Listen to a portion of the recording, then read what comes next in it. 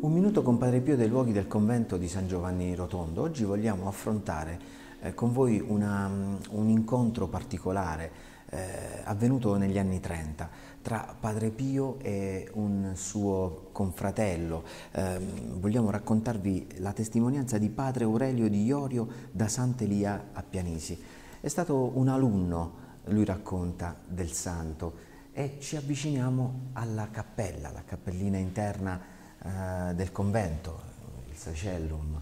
In questo luogo, eh, ecco, ce lo ricorda questa targhetta dove ci sono annotate due date, ovvero eh, l'11 giugno del 1931 e il 16 luglio del 1933. È stato il, peri- il periodo completo della segregazione di Padre Pio. Ecco, Padre Pio in questo luogo è stato segregato, non poteva eh, incontrare nessuno, il Santo Ufficio gli aveva eh, proibito di confessare le persone che giungevano qui, eh, gli aveva proibito di celebrare la Santa Messa in pubblico, quindi eh, lui eh, aveva una eh, giornata tutta particolare all'interno delle mura del convento, senza incontrare nessuno, un vero e proprio segregato.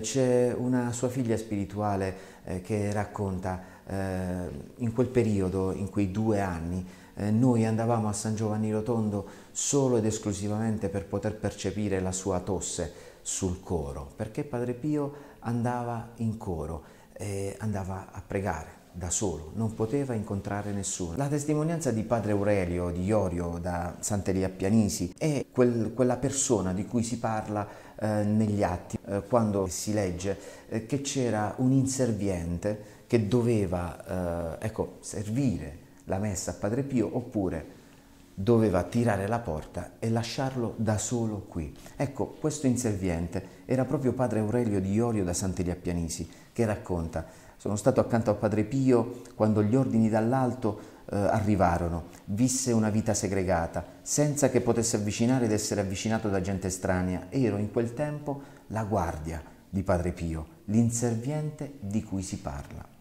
Al mattino gli servivo la Santa Messa, celebrata a porte chiuse, nella cappellina del convento. Nel pomeriggio avevo l'incarico di preparargli un bicchierone d'acqua fresca mista al limone. Si tratteneva nella vecchia biblioteca del convento, sempre assorto nella preghiera, nella lettura dei santi, nello studio della Sacra Scrittura.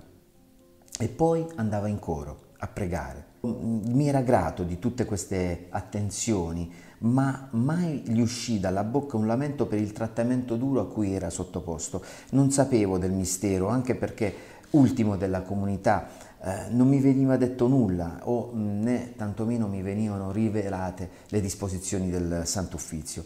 Mai una parola irriverente verso coloro che gli avevano reso eh, questa vita come un recluso. Si mostrava quasi sempre confortato e per non farmi impressionare mi rileggeva qualche capitolo della storia dei papi, del pastor. Parecchie volte lo ritrovavo con le lacrime agli occhi, gli domandavo del perché di queste sofferenze, allorché eh, mai una parola amara per la condanna ricevuta.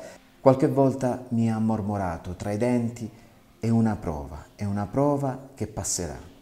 Avendo poi conosciuto dagli estranei il vero motivo della sua segregazione, ero io che dicevo male dei condannatori, ma lui mi, mi riprendeva, ma mi riprendeva dolcemente.